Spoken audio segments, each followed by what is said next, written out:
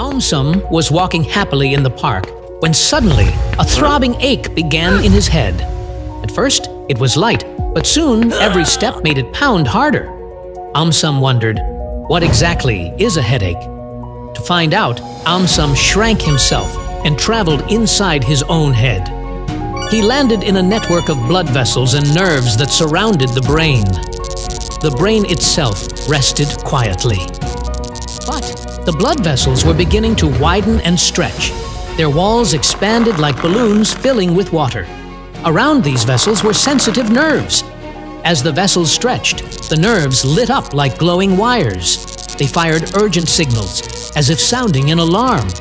Aumsum followed the flashes huh? and saw the messages racing toward the brain's pain centers. The brain itself could not feel pain directly. It had no pain sensors. Each message was like a drumbeat, and the more the vessels pulsed, the stronger the ache became. The storm of signals grew more intense. Huh? Aumsum staggered as the area around him throbbed in rhythm with the heartbeat. It felt like the whole head was echoing with pressure.